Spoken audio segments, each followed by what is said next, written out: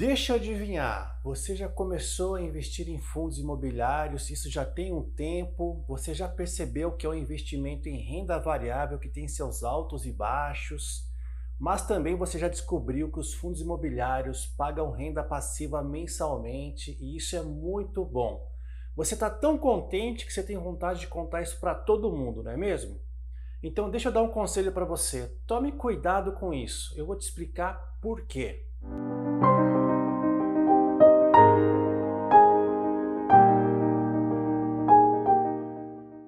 Nome é Jean Tozeto, eu sou arquiteto e urbanista, sou escritor e editor e também apresentador da série Filosofando aqui no canal do professor Baroni.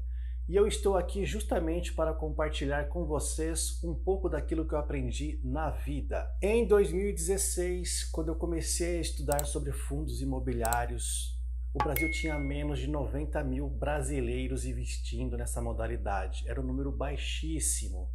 Eu passei a investir em fundos imobiliários em 2017 por influência do Tiago Reis, do professor Baroni e do Felipe Tadevald, meus amigos da Suno Research. E desde então, esse número foi crescendo de maneira exponencial. Em novembro de 2022, a Bolsa de São Paulo soltou um boletim sobre fundos imobiliários, onde você pode constatar que nós já somos 1 milhão 970 mil investidores de fundos imobiliários, ou seja, somos quase 2 bilhões de investidores. Esse é o número para ser comemorado, sim.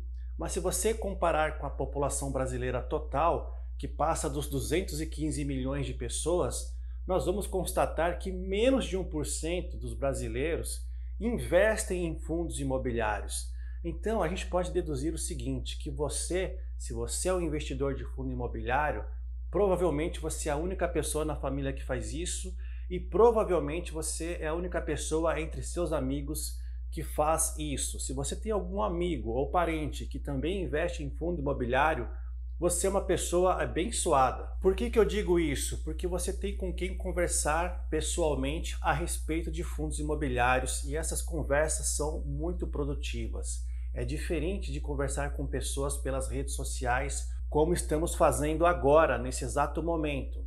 Ao você conversar pessoalmente com um amigo, algum parente sobre fundos imobiliários, você troca impressões mais precisas a respeito dos ensinamentos que as pessoas vão coletando ao longo do tempo. Isso não quer dizer que você tem que sair por aí em toda a festinha de aniversário na sua família, em todo futebol que você joga com seus colegas, em todo churrasco para falar que você investe em fundo imobiliário. Vou te explicar por quê.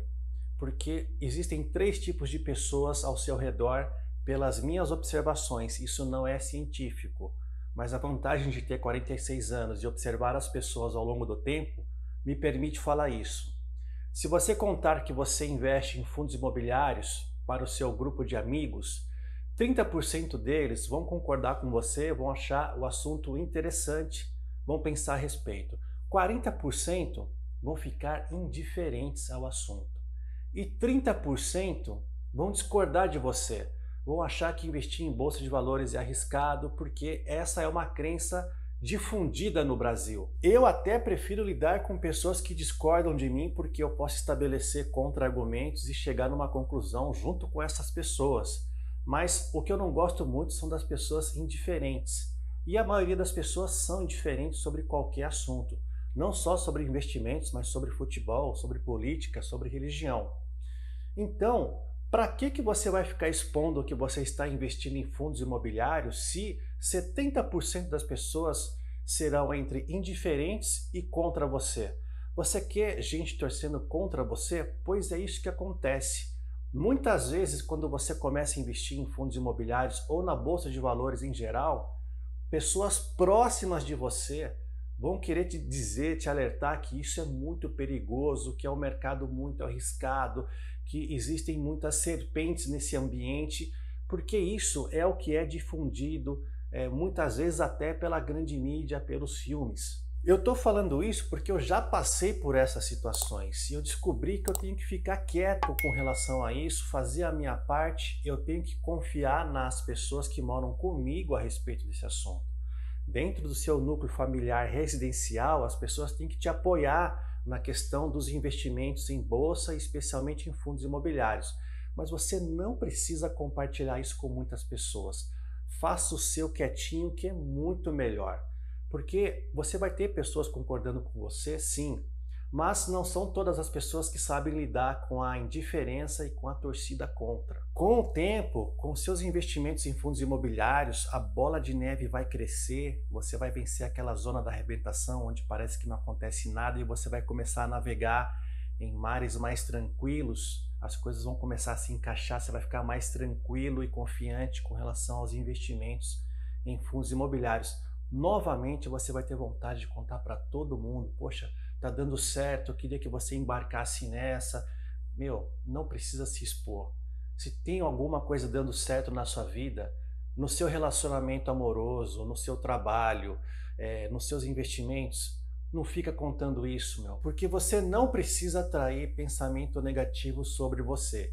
Eu já fui muito cético com relação a esse assunto. Com o tempo, eu fui percebendo que as pessoas sim podem exercer uma influência sobre o seu comportamento. Aí você vai perguntar, Jean, você não está sendo incoerente? Afinal de contas, você está falando tudo isso e você grava vídeos para falar bem dos fundos imobiliários? Sim, eu defendo os fundos imobiliários publicamente, eu me exponho publicamente e eu também pago esse preço de me expor publicamente. Esse é um trabalho que a gente leva de forma profissional. É a nossa missão compartilhar boas informações. Mas você, se você tem uma profissão específica, você não precisa se desgastar com relação a isso. Qual que é a orientação que eu posso passar para você? Aí você me ajuda e se ajuda também. Se você gosta do assunto de fundos imobiliários, seja discreto nas suas conversas, compartilhe os vídeos sim, dê livros de presente, por exemplo, mas não force a barra para falar de investimentos. Não transforme isso no seu único assunto. Comece a observar as pessoas ao seu redor, as pessoas mais discretas, as pessoas que, que não ficam abrindo a vida para todos. De repente, são essas pessoas que também estão investindo em fundos imobiliários. Você percebendo esses sinais, você vai saber se a pessoa está receptível para o assunto dos investimentos. E aí, as suas conversas serão muito mais produtivas. Isso eu posso dizer porque eu já passei por isso também. Eu vou dar um exemplo prático. Eu tive a felicidade de escrever o Guia Suno Dividendos em parceria com o Thiago Reis. E eu já dei esse livro de presente para algumas pessoas. Quais foram as reações que eu observei? Eu esperei um tempo, eu não fiquei cobrando se a pessoa leu. Eu deixei passar semanas e meses e eu comentei de leve. E aí, você leu aquele livro que eu te dei? E, e vai ter pessoas que vão responder: Pô, Jean, eu não tive tempo de ler ainda, mas eu vou ler assim que der. Outras pessoas vão dizer o seguinte: ah, eu dei uma lida assim, mas eu ainda não juntei dinheiro para começar a investir. Então, essas pessoas que você cobra se elas leram um livro, provavelmente elas não leram. O que acontece com as pessoas que leram o livro e eu dei de presente? Elas me procuraram para pedir uma orientação complementar ou mesmo para passar um feedback. Essas pessoas que se interessaram, eu tenho o maior prazer em conversar novamente com elas, porque elas estão abertas para ouvir tudo aquilo que a gente aprendeu ao longo dessa jornada. Então, se você quer compartilhar um vídeo sobre investimentos, como esse vídeo, por exemplo, compartilhe sim, que não custa nada, mas não cobre da pessoa se ela assistiu. Por quê? Se ela assistiu e achou interessante, ela vai comentar com você. Ela vai te dar um retorno, isso será um excelente filtro para você construir a sua rede de contatos em torno dos fundos imobiliários ou dos investimentos em ações em geral. E, é, e esse network que você vai criando aos poucos, sem forçar a barra, ele vai ser muito mais sólido e fundamentado do que uma rede superficial que você sai espalhando por aí e você sabe que a semente jogada na beira do caminho nem sempre ela vai germinar. Outro aspecto associado com pessoas que começam a investir em fundos imobiliários, elas vão tirar o dinheiro da onde? Da economia que elas têm que fazer a partir de algum trabalho ou empreendimento que gere renda ativa. A pessoa economiza e muitas vezes é preciso fazer um certo sacrifício para economizar dinheiro, abrir mão de prazeres momentâneos. E quando você é jovem, isso é ainda mais difícil, porque quando você é jovem, Existe aquela tentação de você passar um fim de semana na praia. De vez em quando, isso é muito bom, mas quem faz isso sempre vai desperdiçar dinheiro. Então, surgirão aqueles convites para você ir com seus amigos passar um fim de semana na praia ou na montanha, ou ir para a balada. A balada é muito boa para você se divertir, mas se você faz isso com certa frequência, você vai desperdiçar recursos que você poderia usar em fundos imobiliários. Não estou pedindo para você virar um santo e se internar num convento, não é isso.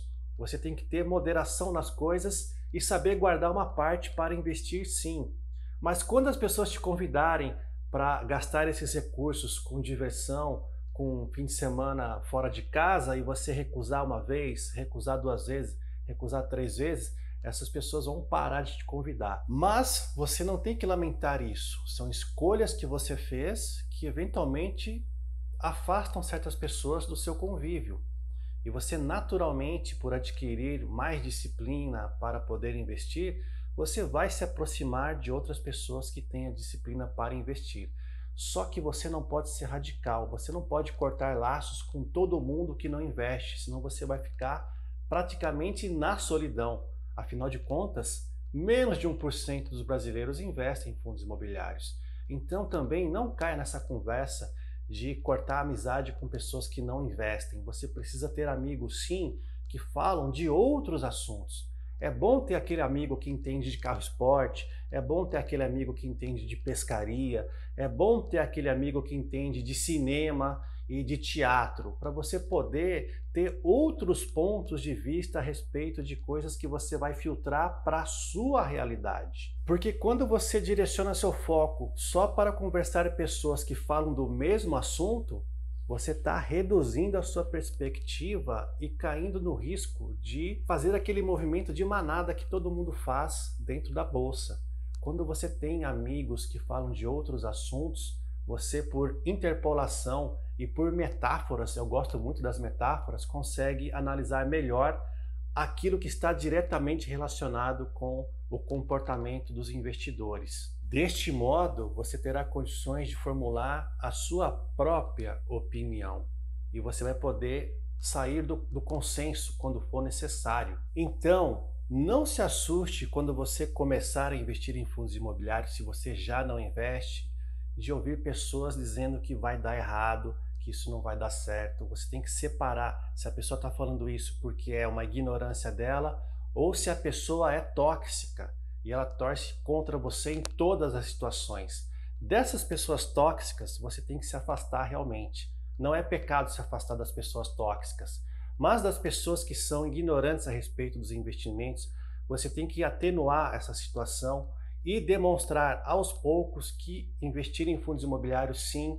é uma modalidade segura e rentável. O tempo vai passar e essas pessoas vão ver o seu progresso nessa área e quem sabe, por conta delas, elas se interessem pelo assunto e tenha toda a boa vontade de explicar o que você aprendeu. É por isso que eu estou aqui repetindo esse mantra de investir em fundos imobiliários e é por isso que eu agradeço você que me acompanhou até aqui nessa viagem de ideias que o professor Baroni deixa eu explanar para vocês. Então chegou aquela hora do vídeo onde eu peço a sua ajuda. Se você gostou dessa mensagem, Compartilhe sim com seus amigos e parentes. Não cobre deles se eles assistiram. Mas se você ainda não é inscrito no nosso canal, por favor, faça sua inscrição, porque você sabe que a gente prepara conteúdo com muito carinho e com muita atenção para você. No mais, um grande abraço e até a próxima!